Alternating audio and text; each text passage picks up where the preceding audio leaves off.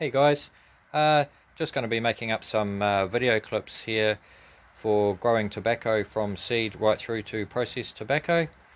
Um, I've been doing this for a few years now and trying to get information off YouTube and other sources online.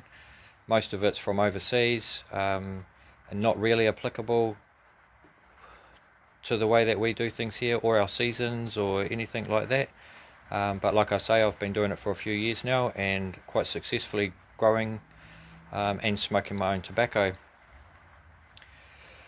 So uh, I thought I'd make up these videos for any friends or whānau that have got seed from me. Um, this is going to be a good resource to uh, support you along the way of um, germinating your seeds and growing your own tobacco. Um, so I'm just going to flip this around now and show you where to get started. So here's our tobacco seeds. They're very tiny. Um, I always spread them out on a piece of white paper because then it makes it a lot easier to work with.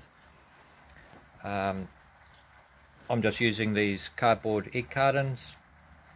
Um, I buy seed raising mix. Now you need a really fine grade um, seed raising mix. You can um, sieve your own soil out of the garden to get rid of all the bits and stones and sticks and things. If that's what you want to do, that's perfectly fine. It just needs to be a fine soil without any debris in the way to stop the seeds from germinating into the soil. Because what it is, is you spread them on the soil and then they root down into the soil. So they don't want any obstruction, right? Um, so once you've got your containers, now these can be yogurt containers, margarine containers, lemon cut milk bottles in half, whatever you want. I like these because later on I can just cut them into the and put the upgrade them into the pots. These can go straight into my next pot. I don't have to worry about tipping them out and fluffing around and disturbing the roots. Okay, so these work really well and um, I'd recommend going with um, egg cartons or something similar like that. Okay, what we do is we uh, use the white paper because then you can see how many seeds you're actually using and if you have a look there they are so tiny. Um, just on that finger there there's probably like 30 seeds, you know. Um, and then what you want to do is you just want to spread them over the soil um, one section at a time spread them around as much as you can okay? Um, getting them right around there because later on when they start to sprout up we're going to want to thin them out. Now I've got some over here I can show you. See these are quite bunched up.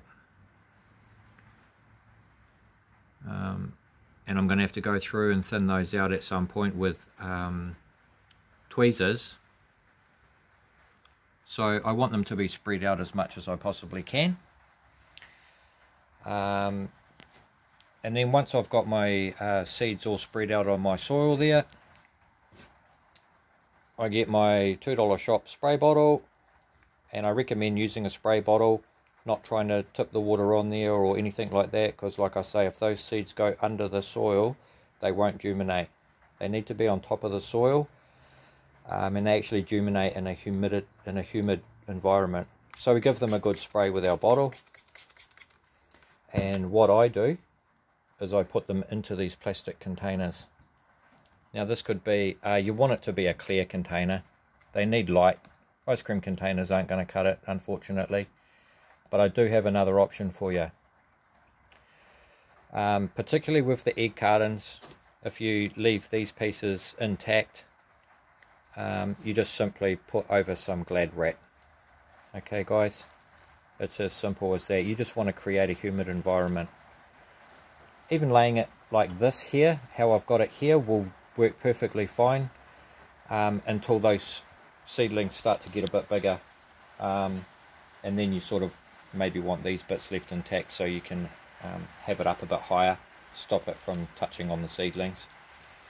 Uh, once the seedlings get up and going, you don't actually need the glad wrap or lid on your container or anything like that. You just want that sweaty environment to germinate your seeds and then after that you just continue misting with your bottle once a day. Okay, through this whole process you want to mist once a day. Okay, just keep that nice and damp and humid.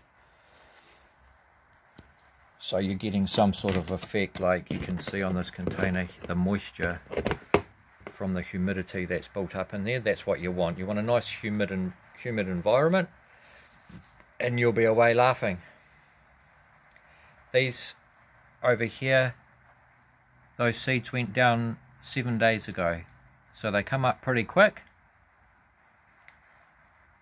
and uh, not too much hassle you just have to mist them every day and keep them warm. I've got a window spot here in my garage. I just sit them there. They get the they get the sun in the morning for a few hours and that is plenty to get them going. And that's it um, for germinating your seeds. And I'm going to carry on doing these video clips this season through every stage that I do. Um, next will be the thinning. Um, and then we'll go on to potting and into the garden and lots of other things to come. Um, but by April, we'll be we'll be well into our tobacco. We may even start plucking some leaves and smoking, drying, curing it, and stuff like that before before then. Um, but yeah, keep an eye on our on our YouTube, and um, we'll go right through and show you how to process right through to smoking tobacco. Thanks guys. See you later.